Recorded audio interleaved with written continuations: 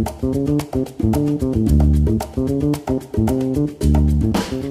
studi kasus aku nih, Cia. Kan ada slogan nih, Mas. Berbukalah dengan yang manis. Tadi sebenarnya Mas Rizal sempat kasih penjelasan ya, gambaran bahwa uh, seenak-enaknya minum manis ketika berpuasa itu tetap harus dijaga. Nah, sebenarnya um, minum ada porsi manis ketika berbuka puasa tuh tetap dianjurkan nggak sih mas? Atau kalau uh, memang membutuhkan atau menginginkan manis pada porsi seberapa itu masih aman dikonsumsi mas? Oke baik, jadi ini memang juga sejuta umat juga, apalagi di Indonesia yep.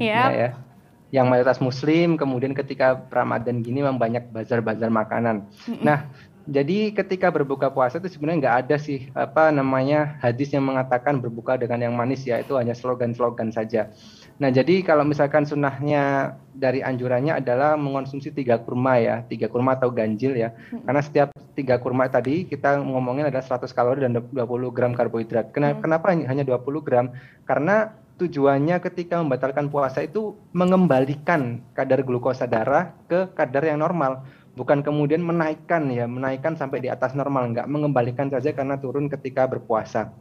Nah kalau teman-teman misalkan nggak ada kurma, pengen diganti dengan buah-buahan bisa. Kemudian teman-teman mau minum es kolak misalkan atau mungkin minuman manis juga bisa cuma porsinya harus dibatasin nggak boleh kemudian terlalu berlebihan juga nah kalau teman-teman mau misalkan kolak ya kolak pisang atau mungkin es sirup dan lain sebagainya usahakan hanya menggunakan mangkuk kecil atau mungkin gelas kecil yang 250 ml ya. Jangan kemudian pakai gelasnya apa yang besar itu baskom gitu enggak juga ya. Karena kan hmm. tujuan tadi mengembalikan saja. Nah, yang paling bagus adalah Mbak Vidya kalau misalkan teman-teman beli ya kan kita juga mau ngelarang juga nggak bisa ya karena banyak di mana-mana mau ngebolehin juga kurang kurang apa namanya kurang tepat juga jadi kalau teman-teman beli itu beli aja nggak apa-apa beli tapi disimpan dulu di lemari atau di kulkas ya. Nanti makan setelah tarawih atau 2 sampai 3 jam setelah makan utama. Karena apa? Kalau misalkan ketika azan maghrib kita langsung konsumsi semuanya, itu kan perut kita lagi kosong nih. Nah, jadi kita akan kalap makan semuanya. Mm -hmm. Tapi ketika nanti dikonsumsi setelah tarawih atau 2 sampai 3 jam setelah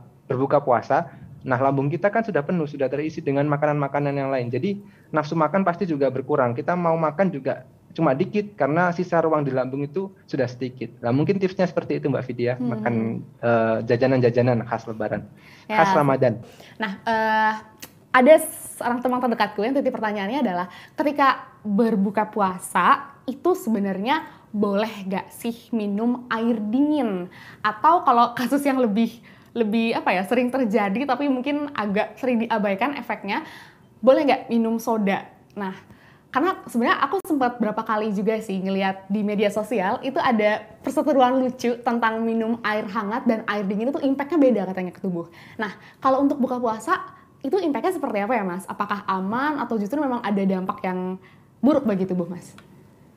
Oke, jadi kalau misalkan mau minum air dingin ataupun air hangat itu sebenarnya opsional saja. Mm-hmm. Tapi memang kalau air dingin itu justru malah uh, ada penelitian yang mengatakan bahwa ketika kita minum air dingin maka uh, pembakaran kalori dalam tubuh kita semakin lebih banyak meskipun itu nggak signifikan juga. Hmm. Jadi maksudnya adalah ketika berbuka puasa uh, memang lebih disarankan sih memang air hangat atau air biasa karena kan tubuh kita dalam keadaan perut kosong ya kalau misalkan pakai air hangat itu uh, saluran pencernaan atau mungkin organ-organ pencernaan lebih rileks ya sehingga nanti siap untuk dimasuki dengan makan-makan yang lain. Tapi nggak ada salahnya juga, nggak ada selama ini saya belum menemukan uh, dampak negatif juga dampak hmm. negatif dari konsumsi minuman atau air es ya. Yang perlu diperhatikan itu bukan esnya sebenarnya, tapi campuran dari es itu apa saja gitu kan ada sirup ada susu kental manis ada gula ada segala macam itu yang perlu justru malah diwaspadai daripada suhu dari air itu sendiri mbak seperti itu. Hmm, hmm, hmm.